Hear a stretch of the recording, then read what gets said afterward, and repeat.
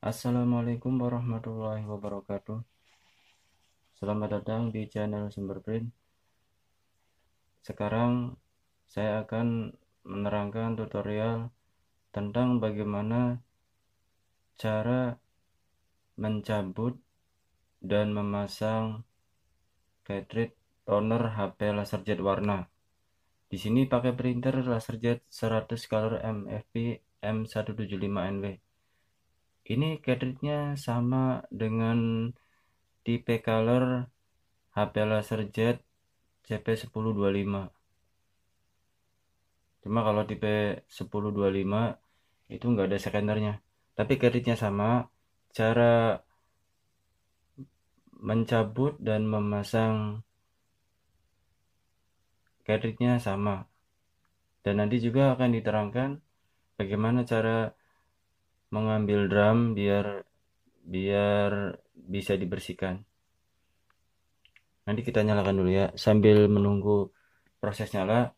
Jadi perlu diperhatikan untuk printer laser jet warna baik itu yang tipe 1025 M175 dan lain-lain itu memang harus dalam perintah-perintahnya itu dalam harus selesai proses di dalam printer itu.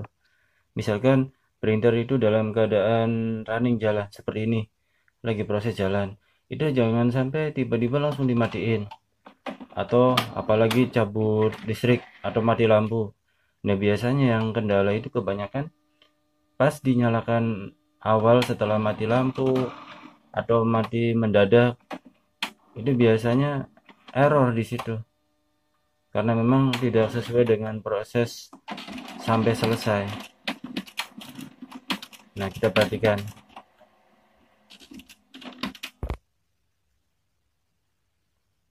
Nah ini udah udah standby udah siap. Udah siap dalam proses. Nih seperti ini selesai. Kalau sudah selesai ready seperti ini baru boleh kita melakukan proses selanjutnya apakah langsung ngeprint apakah mencabut cartridge atau mencabut drum itu baru bisa setelah proses ini selesai. Baiklah untuk mencabut cartridge toner untuk printer ini kita harus buka scannernya dulu.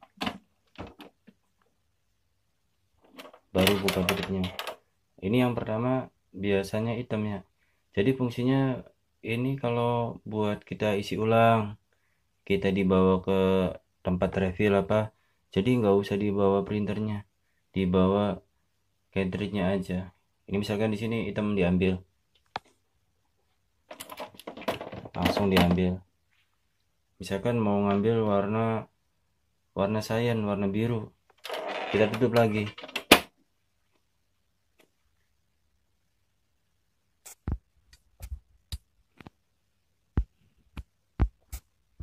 kita tunggu proses.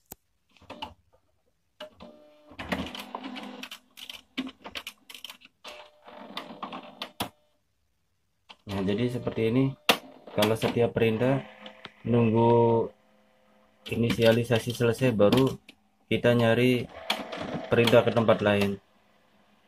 Maksudnya perintah selanjutnya yang kita inginkan. Ini masih suara suara printer running ya masih sedang berjalan. Nanti kalau udah selesai baru kita mengambil cartridge cyan warna biru. Nah ini kan kosong. Cartridge hitamnya kosong tanda tanya ini berarti kosong tadi udah diambil. Nah kita mau mengambil warna cyan. Yang dipencet adalah tombol ini tombol tinta. Ada warna-warnanya ada empat warna di sini. Kita pencet. Tuh ini ada tulisan memut memutar ke kartrit kuning. Tadi berarti ini posisinya tuh kuning. Kuning tadi ini kuning. Tuh ini warnanya kuning. Warnanya yellow. Kita yang diambil kalau mau diambil bisa langsung diambil. Tapi yang mau kita ambil misalnya warna warna cyan tadi ya.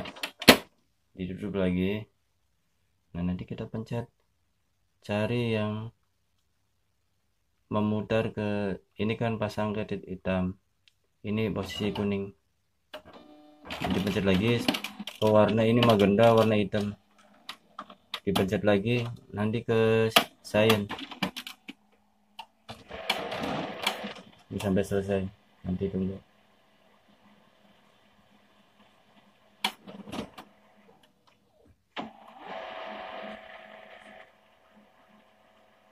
memang kalau pakai printer warna harus sabar kita dalam menunggu setiap perintah-perintahnya.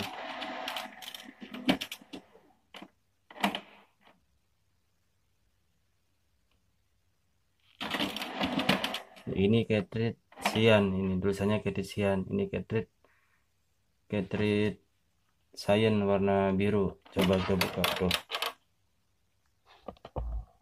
ini ini cartridge warna cyan biru kita ambil. Itu kan kosong. Nanti ditutup lagi.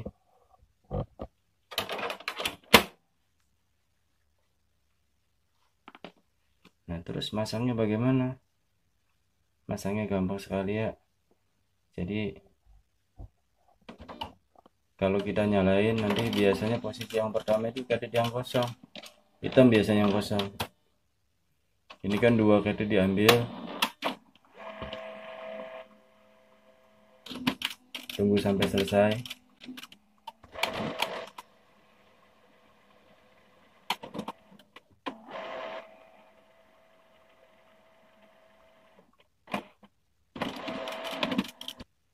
Nah setelah berhenti baru kita pencet lagi ini. Ini memutar ke hitam. Ini posisinya hitam. Kosong. Nah, ini. Hitam itu nanti di situ. Pasang. Terus tutup lagi. Masangnya harus pas.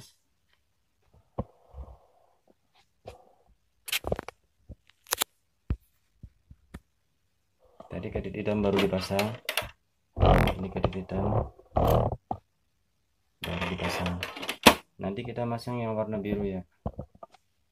Nih ini pasang kadit cyan ini ke kuning. Ini ke ini memutar ke kadit cyan nah baru bisa dipasang. Tuh ini kosong. Ini ke cyan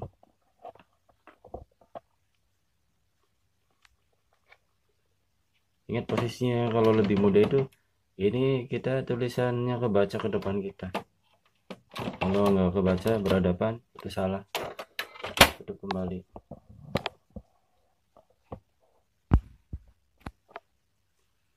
Kita proses inisialisasi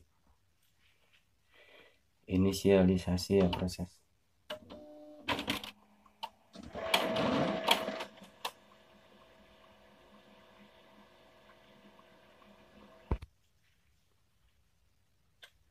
Nah, setelah standby udah selesai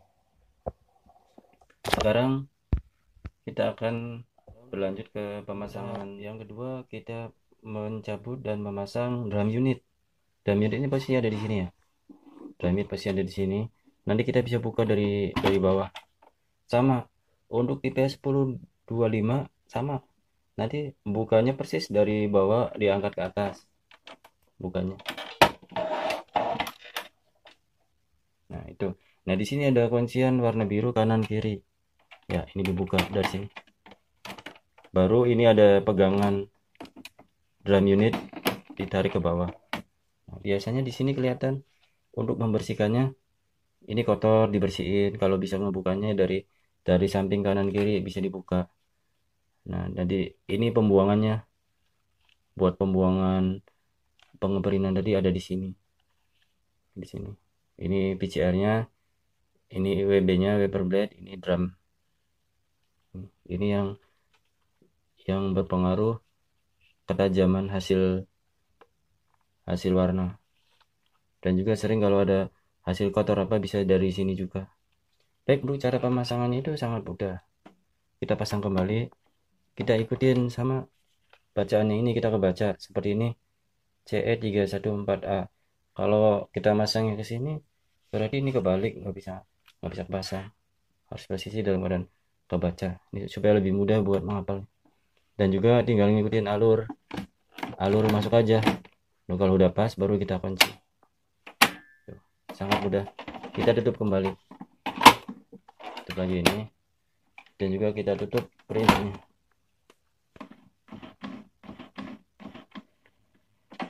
Demikian tutorial mengenai cara memasang cartridge dan meng, mencabut dan memasang drum kit.